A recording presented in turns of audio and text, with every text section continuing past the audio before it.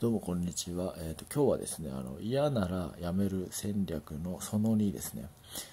えーとまあ、嫌ならやめるで物事を始めた方が楽だし長く続けられるっていうまあ、論理的な説明をしようかなと思います、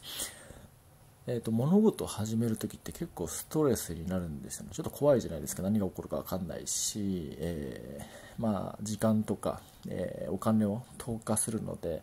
まあ、その分のですねあのリターンがないと嫌だなって、えー、まあ、本能的に思っちゃいますよね、ま、それがやっぱ恐怖とか不安っていう形で、え、ま、現れてきますね。で、えー、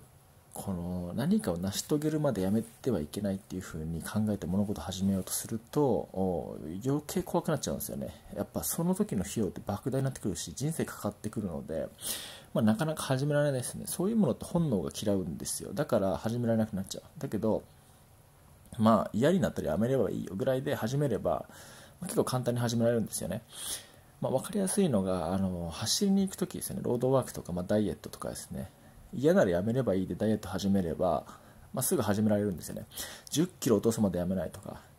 1 0キロ走るまで帰ってこないって考えて走ろうとするともう嫌になってくる。で結局投げ出しちゃうんですよね。その計画を、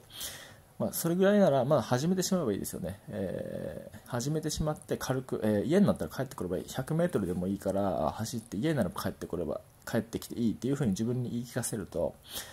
簡単に走りに行けるんですよで結果10キロ走っちゃうんですよね。なんかもう走り出したら逆に言うと埋没費用って言って埋没費用参加コストを取り戻すために逆に走っちゃうんですよね、まあ、そういう、まあ、心の働きがあるので、えー、嫌ならやめるで始めた方がいいんですよ。僕もボクシング嫌ならやめるで始めましたよね。結果今まで8年間続けてますけど結構それが大事だったんですよね。あの嫌なら嫌ならやめればいいやぐらいで始めたのがやっぱ結果良かったなと思いますね。えーと、例えば他にも新しいスタイルやりたいなってみんな思うことあると思うんですけどやってみればいいんですよね。でなんか違うなと思ったりしたらやめればいい、えーと、新しいトレーナーを探すのもそうですよね。なんかパーソナルトレーニングで受けてみてめちゃくちゃいいなこの人って思うかもしれないし逆になんかそうでもなかったなって思うかもしれない。とりあえずやってみればいいんですよね。嫌ならやめればいいので。まあ違ったよこの人は違ったよとかですね。あとジムもそうですね。ジムも一回行ってみればいいんですよね。行ってみて体験してみてなんか違うなと思ったらやめればいい。でまあ、移籍もそうですね、移籍もなんとなく嫌ならやめりゃいいやぐらいの感じで始めればいいですよね。ボクシングもそうですね、まあ、打ち合い、打ち合ってみようかなと思えば打ち合えばいいですよね。で、なんか違うな、逆にちょっと危ないなと思ったらやめればいいし、で、アウトボクシングしてみようかなと思えばアウトボクシングすればいいんですよね。で、なんかちげえと思ったらやめればいいわけですよね。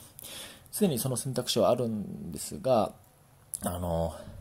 でその選択肢を持ってるあの嫌ならやめるっていう選択肢を持ってることによって、まあ、始めるのが容易になるんですよね。簡単にあの費用が小さい投下する費用があの、えー、小さいので簡単に、えー、始められてしまうっていうのがありますね。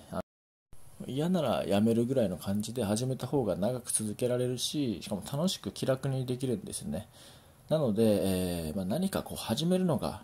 怖いなとかですね。なんか踏み出すのは怖いっていう方は、まあ、嫌になればまた元の場所に戻ればいいやぐらいの気持ちで始めてみてほしいなと思います結局始めちゃえばやってしまうんでね。